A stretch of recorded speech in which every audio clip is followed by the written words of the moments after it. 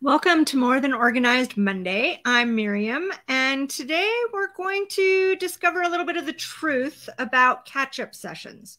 Some of you have heard me talk about catch up sessions before, and it's kind of a bonus tip I like to give to my clients, and that is when you're working on anything, whether it's life stuff or business stuff, setting aside a little bit of time every week to actually have a catch up session I usually schedule about 90 minutes. It doesn't usually take me 90 minutes, but just in case. Um, and it allows me to go back to the beginning of the week and take a look and pick up any loose threads that didn't get finished or that came up um, or got pushed down to the side or off the to do list because something else came up.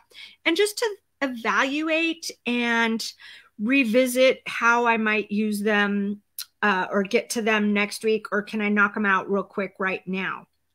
So it's that that little bit of time now to save you lots of time later. It's so you don't forget that you were supposed to call that client back for more than a couple of days. So you don't forget to pay a bill or an annual subscription fee because it's something that comes up um, rarely. You know it's it's about saving time next time and it's about keeping true to your word. And so it's worth setting up at least half an hour to 90 minutes every week as part of your weekly strategy um, towards the end of the week to just look at what got left off. And like the day, the time slot we set up at the beginning of the week, like Monday, Sunday or Monday, where we set up and prepare for the whole week, you want to look at the same areas. So there's going to be money, areas? Is there money deposits to be made or money to be transferred or bills to pay? Um, are there any people you need to follow up with or contact that you promised you'd get back to them soon and you just haven't gotten to that part of your list yet this week? Go ahead, make those calls, write those emails, connect with those people, even if it's just to say, totally ran out of time this week. I apologize. I will get that to you first thing Monday. If anything like that, uh, needs to be communicated. It's just to be clear in your intentions about how things um, should go for the next week, right? Just keep yourself honest and in integrity and alignment.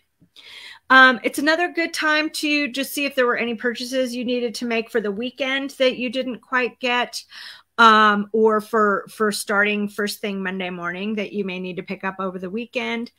And you want to look at your energy level. Like how review how did it go this week? Did you give yourself enough time enough grace enough transition time um, enough support and help from other people to actually get the stuff done that you wanted to get done this week?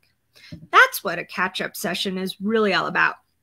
And occasionally there will be something special. Like you had to put an entire thing off to do this other thing an example might be this week I had planned to shoot video on Friday and I have to go get a crown instead. I'm going to do as much as I can ahead of time so that um, I can either do it a little bit later in the day on Friday or hopefully actually finish it up Thursday evening instead of um, doing it on Friday so that I can rest after my trip to the dentist. But um, you know, some things come up and you just got to deal with them and you got to make adjustments.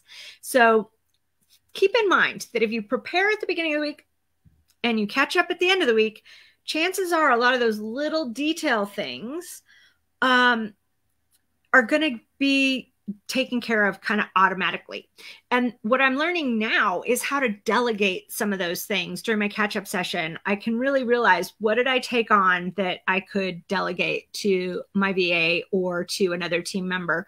Um, is there extra editing that the video guy can do? Is there something the social media folks can do? What what can I let go of more of so that I get to focus on the great stuff, the content, the actually telling you guys these things shooting the videos, writing the blogs, writing the emails, all the things that allow you to get to know me a little bit better and my philosophy.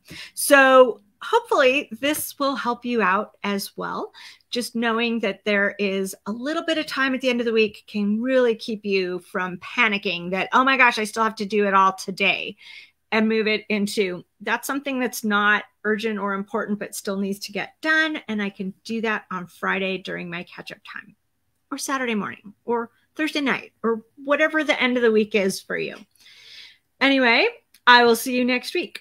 Don't forget to like subscribe follow tell all your friends because it's just more fun that way. And join us next week. I will see you um, then. And in the meantime have a delightful day